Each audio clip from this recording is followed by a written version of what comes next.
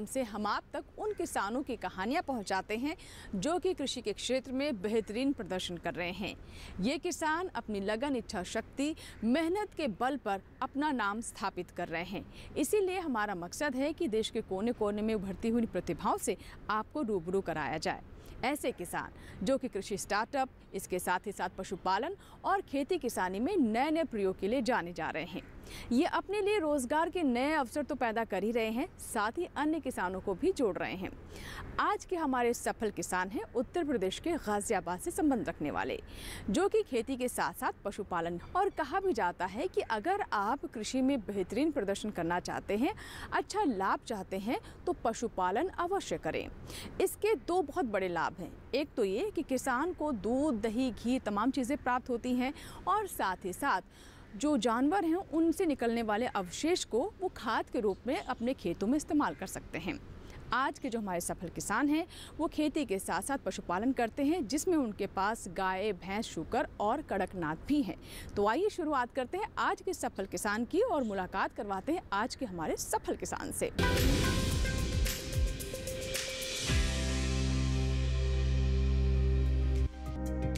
भारत की कृषि और पशुपालन, दोनों ही देश की आर्थिक संरचना और ग्रामीण जीवन का अभिन्न अंग है। इनका महत्व ऐतिहासिक, सामाजिक और आर्थिक दृष्टिकोण से बहुत अधिक है। कृषि न केवल भोजन और कच्चे माल की आपूर्ति करती है, बल्कि ग्रामीण क्षेत्रों में रोज़गार का मुख्य स्रोत भी माना जाता है। खेती किसानी को आसान बनाने के लिए पशुपालन बेहद ही ज़रूरी माना जाता है।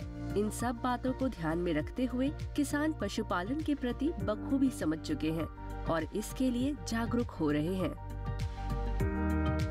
समय समय पर देश में ऐसे सफल किसान उभरते रहे हैं, जिन्होंने खेती किसानी या पशुपालन को एक नया आयाम दिया है। ऐसे ही सफल किसान की बात करेंगे आज के इस एपिसोड में। आज के हमारे सफल किसान आते हैं उत्तर प्रदेश के गाजियाबाद से, जो उत्तर प्रदेश राज्य में स्थित एक प्रमुख शहर है। राजधानी दिल्ली से सटे इस क्षेत्र में किसानों को शहरों की चकाचौंध वाला माहौल भी मिल जाता है और गाँव का भी। गाजियाबाद, जो कि अपनी कृषि और पशुपालन के मामले में काफ़ी आगे है। इस क्षेत्र में कुछ ऐसे किसान हैं, जो पशुपालन को एक व्यवसाय का रूप दे चुके हैं। इन्हीं सब किसानों में एक किसान है, सुबे सिंह यादव। जो खेती के साथ पशुपालन में भी अपनी किस्मत आजमा रहे हैं और इस क्षेत्र में सफल भी साबित हो रहे हैं। सफल किसान बताते हैं कि पशुपालन तो बहुत पहले से करते आ रहे हैं, लेकिन आईसीआर के मार्गदर्शन में पशुपालन के प्रति ऐसी विशेष जानकारी मिली, जिससे सुन सफल किसान को पशुपालन के क्षेत्र में कुछ अलग करने की इच्छा हुई। फिर क्या?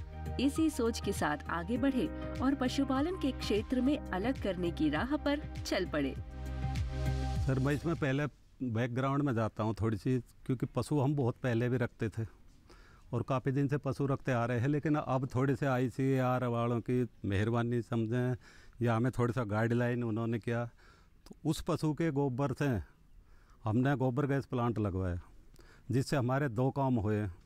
एक तो हमें गोबर के रूप में सैलरी मिली, जो उस गोबर से जो हम कंपोस्ट बना रहे उस गोबर से बेहतरीन सैलरी से ज़्यादा खाद की प्राप्ति हुई और रसोई गैस का हमारा पूरा काम चल रहा है। तो आम के आम गुठली के दाम हुए। दूसरा हमारे इसके दूध की आमदनी, जो पहले दूध की आमदनी हो रही इसमें हमें टेक्निकल सुधार करके कुछ सुधार हमने भैंसों में भी करी, नस्ल में भी करा। तो जैसे आमदनी हो रही है मान लो एक भैंस बारह किलो दूध दे रही है तो अब हमारे पास में चौदह पंद्रह किलो दूध देने वाली भैंस हैं। और चौदह पंद्रह किलो दूध वाली कम से कम पचास रुपये लीटर भी हम लगा के चले हैं तो हमारे मिनिमम साढ़े सात सौ रुपया पर डे की आमदनी समझो। और पर डे की आमदनी में ढाई सौ, तीन सौ रुपया पर डे भैंस पे खर्च हो जाते हैं, वर्कर पे खर्च जाते हैं, और बाकी हमारी शुद्ध आमदनी में चली जाती है। ये हमारे पशुओं की हैं, हमारे पास तीन पशु हैं और तीन ही गाय हैं। जिसकी देख रेख करके एक परिवार का महीने का खर्चा आराम से निकलता। भारत में पशुपालन कृषि का एक महत्वपूर्ण हिस्सा तो है ही, और ये किसानों के लिए अतिरिक्त आय का एक प्रमुख स्रोत भी है। सफल किसान के लिए पशुपालन न केवल आर्थिक समृद्धि लाता है, बल्कि खाद्य सुरक्षा और पोषण में भी महत्वपूर्ण भूमिका निभाता है। सफल किसान सुबे सिंह यादव भी पशुपालन को बखूबी समझ चुके हैं और पशुपालन के अवशेष को गोबर गैस के लिए इस्तेमाल करते हैं। सफल किसान सुबे सिंह यादव जी गोबर गैस के महत्व को समझ चुके हैं और इससे इन्हें काफ़ी सारा फ़ायदा हो रहा है। गोबर गैस के बारे में विस्तार से बता रहे हैं सफल किसान सुबे सिंह यादव जी। गोबर गैस में बायो गैस सैलरी है जो तो महीने की कम से कम हमारे डेढ़ सिलेंडर या एक सिलेंडर से कम तो लगता ही नहीं था। तो बायोगैस सैलरी से हमें एक सिलेंडर की पूर्ति, पूरे महीने की, महीने का साल की साल हमारे बायोगैस सैलरी से ही बायोगैस से ही काम चल रहा है और सैलरी खेत में जैविक उत्पादन के लिए बहुत बेहतरीन। तो ये दोनों काम हमारे लिए पशुओं की मेहरबानी से हुए नहीं कि पहले तो कुछ भी नहीं है।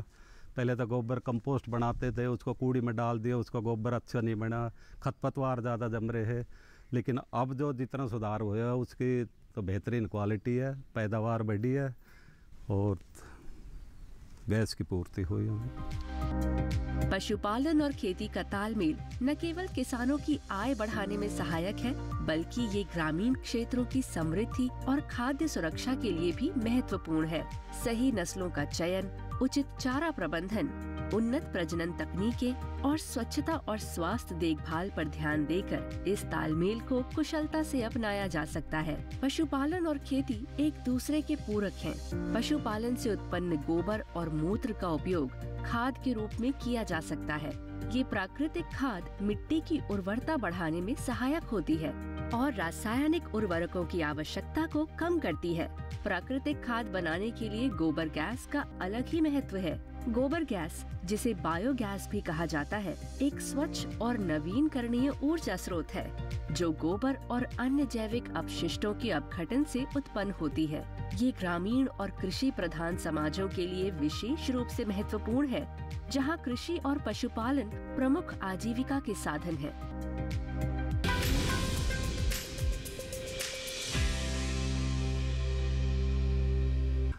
साथ ही सफल किसान में यहाँ वक्त एक छोटी सी ब्रेक का। लेकिन ब्रेक के बाद जब वापस आएँगे तो आपको बताएँगे कि कैसे हमारे आज के सफल किसान पशुपालन में गाय और भैंस तो रख रहे हैं, साथ ही साथ उनके पास कड़कनाथ भी है। कैसे वो आसानी से इसे कर पा रहे हैं, जानेंगे छोटे से ब्रेक के बाद।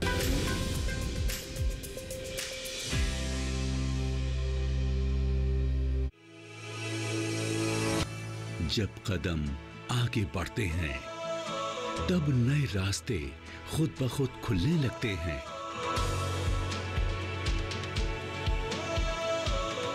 एक कोशिश के बाद खुशहाली आती है। यहाँ खोज होती है, मिट्टी सोना उगलती है। यहाँ बदली जाती है खेतों की तस्वीर और अन्नदाता की तकदीर। विकसित होते भारत के स्मार्ट कृषि की हर राह। शिक्षा से लेकर भरपूर फ़सल की चाह। हम दिखाएँगे वो तस्वीर जो बदल देगी कृषि के लिए आपका नज़रिया।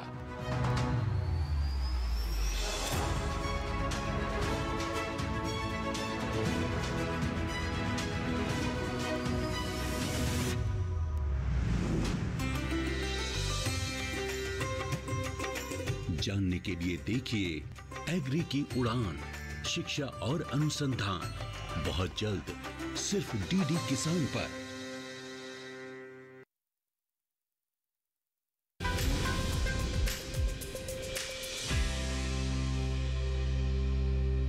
ब्रेक के बाद एक बार फिर आपका स्वागत है। आप देख रहे हैं सफल किसान। ब्रेक से पहले हमने आपको बताया कि कैसे हमारे किसान अगर पशुपालन भी खेती के साथ करते हैं तो उनकी आय कई गुना बढ़ जाती है और उसके कई लाभ उन्हें प्राप्त होते हैं। आइए अब कार्यक्रम को आगे बढ़ाते हैं और आज के सफल किसान के बारे में आपको कुछ और बातें बताते हैं। ये खेती के साथ साथ पशुपालन करते हैं, जिसमें उनके पास गाय, भैंस तो है ही। इसके अलावा सुनियोजित तरीके से वो तमाम कार्यों को आगे बढ़ाते हैं। इसी वजह से शुकर पालन और कड़कनाथ को भी वो रख पा रहे हैं। आइए जानते इससे उन्हें कैसे लाभ हो रहा है।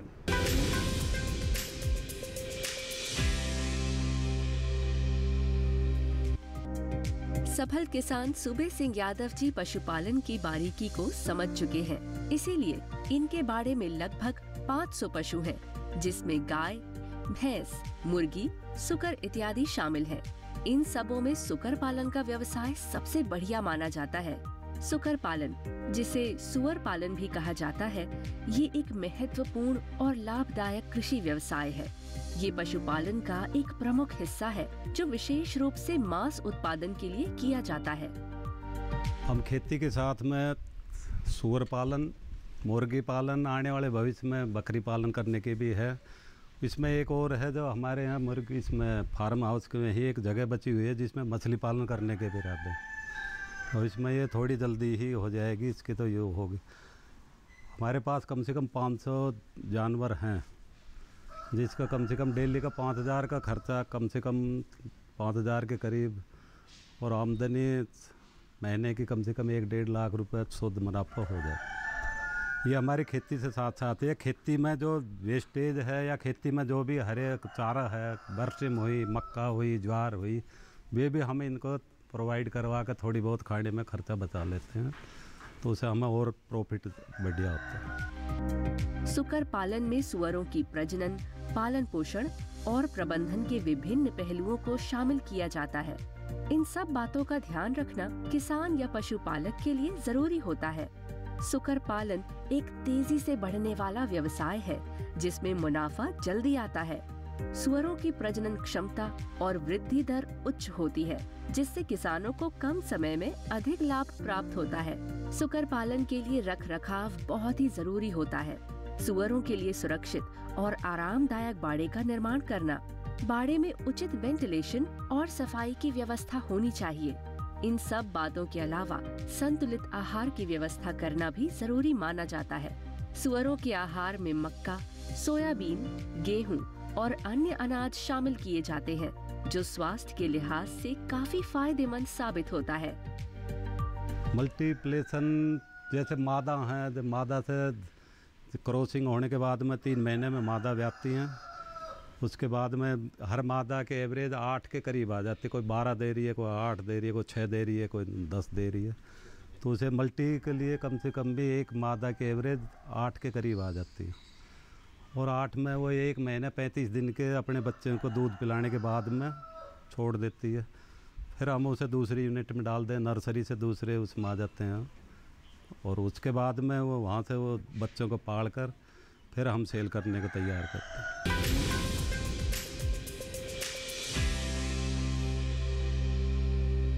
अभी तक आपने सफल किसान में जाना कि कैसे हमारे आज के सफल किसान खेती के साथ साथ पशुपालन भी बहुत ही सुदृढ़ तरीके से कर रहे हैं। आइए कार्यक्रम को आगे बढ़ाते हैं और जानकारी देते हैं कि कैसे वो मुर्गी पालन से भी अच्छा लाभ कमा रहे हैं। मुर्गी पालन के व्यवसाय को कैसे नई ऊंचाइयों तक ले जा रहे हैं, देखते हैं इस रिपोर्ट में।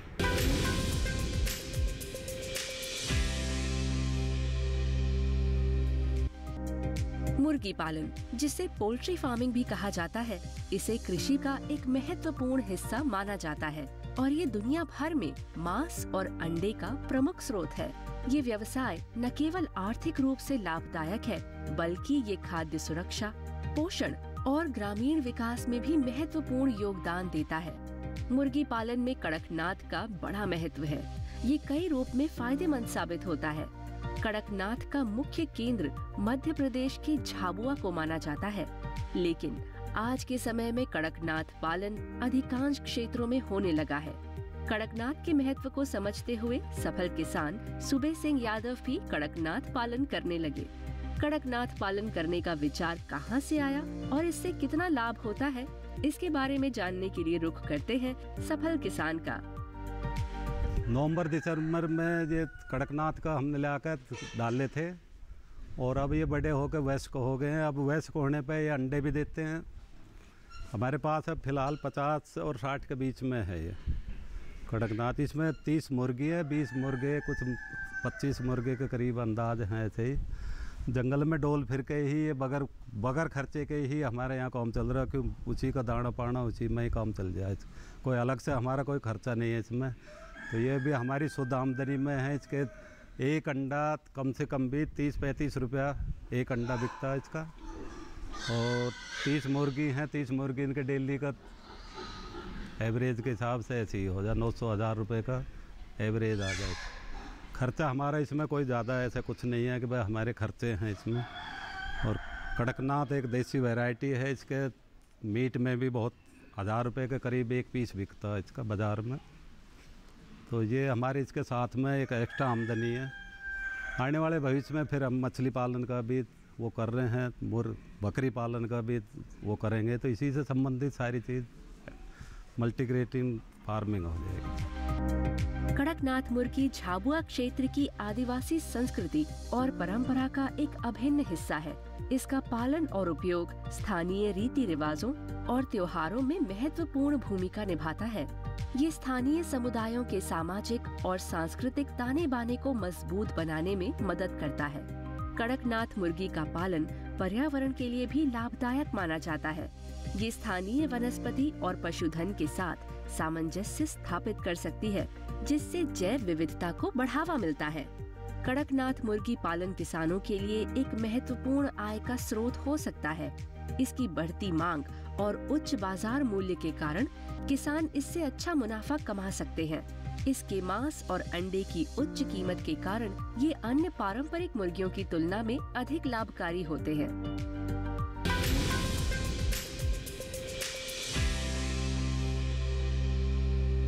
इसी के साथ ही सफल किसान में यहाँ वक्त एक छोटे से ब्रेक का। लेकिन ब्रेक के बाद जब वापस आएँगे तो हम आपको बताएँगे कि कैसे सूबे जी अपने खेतों का ध्यान रखते हैं, अपने फार्म की देखभाल भी करते हैं और दूसरों से भी कराते हैं। कैसे अपने पशुओं के स्वास्थ्य, उनके आवास, उनके आहार को लेकर वो काफ़ी सजग हैं जाने के छोटे से ब्रेक के बाद।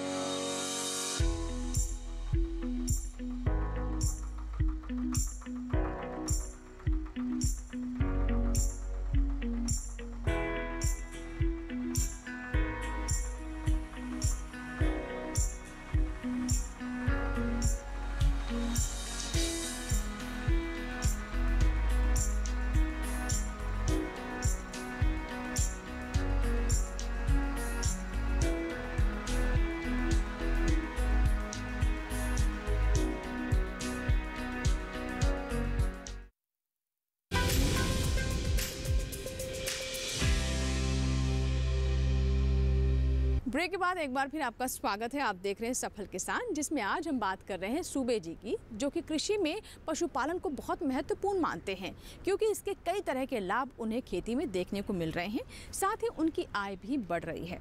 आइए कार्यक्रम को आगे बढ़ाते हैं और अब आपको बताते हैं कि पशुओं का रख रखाव किस प्रकार से करना चाहिए। और इसके अलावा हमारे किसानों के जीवन में सकारात्मक बदलाव लाने में कृषि विश्वविद्यालयों की भूमिका क्या है? आइए देखते हैं।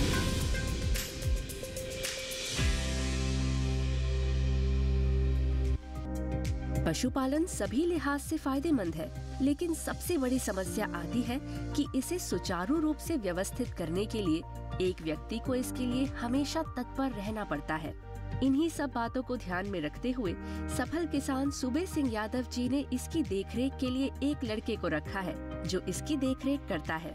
पशुओं की देखरेख एक समग्र और सतत प्रक्रिया है, जिसमें उनकी सभी आवश्यकताओं का ध्यान रखा जाता है। सही देखभाल से पशुओं का स्वास्थ्य, उत्पादन और कल्याण सुनिश्चित किया जा सकता है। इसके लिए किसानों, पशुपालकों और पशु प्रेमियों को शिक्षित और जागरूक होना आवश्यक है। अच्छी देखभाल से न केवल पशुओं का जीवन सुखमय होता है, बल्कि ये किसानों और पशुपालकों के लिए भी आर्थिक लाभ का स्रोत बनता है। देखरेख की दिनचर्या के बारे में बता रहे हैं अजीत। सुबह छः साढ़े छः बजे तक दाना गिर देता हूँ फार्म में। हम्म, और इसमें पानी की टंकी लगी हुई है निप्पल भी लगी हुई हैं। शाम को लिए चार बजे दाना गिरता हूँ मैं। हम्म, और इनकी जो जो मादिन है मादिन जाकर जब बच्चों के लिए हटाता हूँ मादिन नीचे से डेढ़ महीने का बच्चा हटा देता हूँ मैं। चालीस से पैंतालीस दिन का बच्चा हटा के और उसके बाद में एक हफ़्ते बाद मादिन क्रॉस हो जाती है। हफ़्ते में दस दिन में क्रॉस हो जाती है, फिर उसके बाद में जाकर चार महीने में मादिन भी आ जाती है। हम्म। और जो बच्चे हमारे हैं बच्चों को हम जाकर दो महीने में सेलिंग सेलिंग पर डाल देते हैं। हम्म। दो दो महीने में जाकर चौदह से पंद्रह के के बच्चे आराम से हो जाते हैं बच्चे मेरे। ठीक है? फ़ीड पे पूरा फार्म चल रहा है, होटल वेस्ट है है नहीं, पूरा फार्म फ़ीड पे चल रहा है जी। आठ महीने में बच्चा जाकर, हमारा जाकर कम से कम जाकर बीस से पच्चीस किलो का होता है जाकर, उसका जाकर दाम जाकर साढ़े आठ हज़ार रुपये, नौ हज़ार रुपये का बैठता है। ठीक है?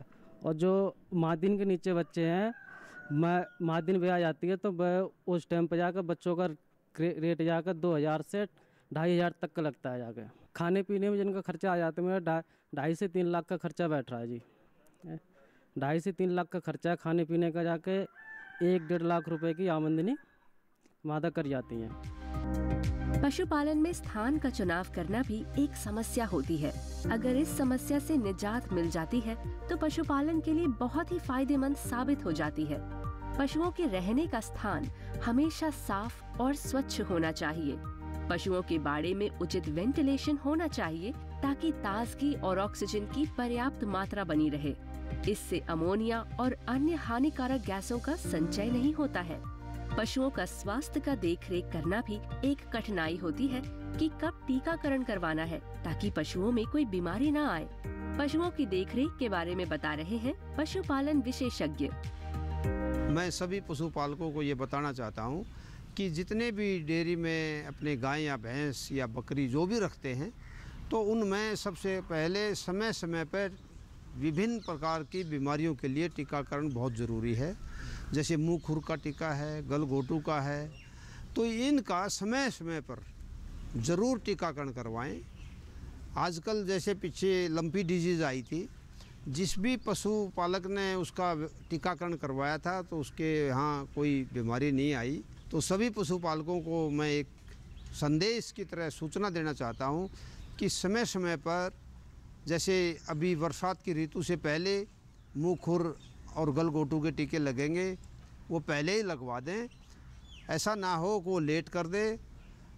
कम से कम भी एक महीना पहले टीका लगा देना चाहिए, ताकि 21 से दिन के बाद ही उसमें बॉडी में इम्यूनिटी आती है और उससे पहले ही अगर एंटीबॉडी बन जाएँगी तो आपका पशु सुरक्षित रहेगा। दूसरा, पशुपालक पेट के कीड़े की दवाई भूल जाता है पशु को देने के लिए। साल में दो बार पशुपालक अपने पशु के लिए, पेट के कीड़े की दवाई ज़रूर पिलाए, ताकि उसका जो भी पाचन क्रिया है, वो पूरी ज़्यादा मज़बूत रहे। और अगर पाचन क्रिया मज़बूत रहेगी तो आपका दूध उत्पादन भी बढ़ेगा। तो इनको स्वास्थ्य के साथ साथ जब भी कोई ज़्यादातर बीमारियाँ, पशुपालक, थनैला रोग या मेट्राइटिस, गर्मी में न आना या बार बार गर्मी में आना तो ये मुख्यतः है वहाँ पर नज़दीक के अपने पशु चिकित्सक से दिखाएँ और उसी हिसाब से पशु चिकित्सक के उसका अपना ट्रीटमेंट करवाएँ। कृषि विश्वविद्यालय पशुपालन या खेती किसानी के क्षेत्र में एक महत्वपूर्ण भूमिका निभाते हैं। ये युवा हूँ। सफल किसान सुबे सिंह यादव के छोटे से प्रयास से समाज में प्रेरणा स्रोत साबित हो रहे हैं। इनकी सही सूझबूझ ने आज इनको सफल किसान बना दिया है। इनकी सोच यही नहीं रुकती है, बल्कि ये भविष्य के लिए भी तैयार है। खेती और पशुपालन के क्षेत्र में कुछ करने की ठानी है। इन्हें देख आसपास के किसान भी इनसे प्रेरित होकर खुद की आय में वृद्धि कर रहे हैं।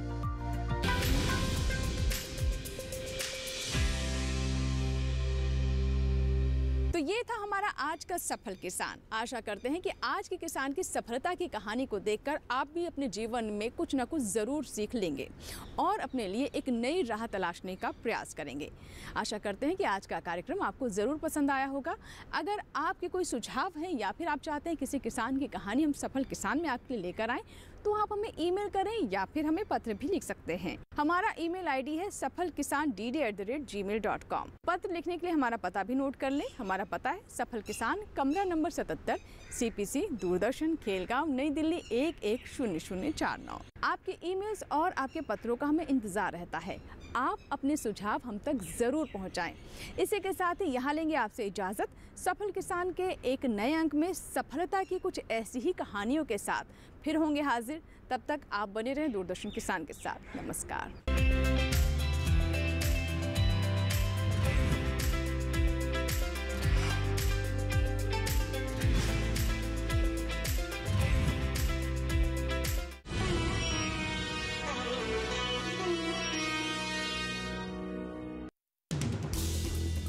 दिन हर पल।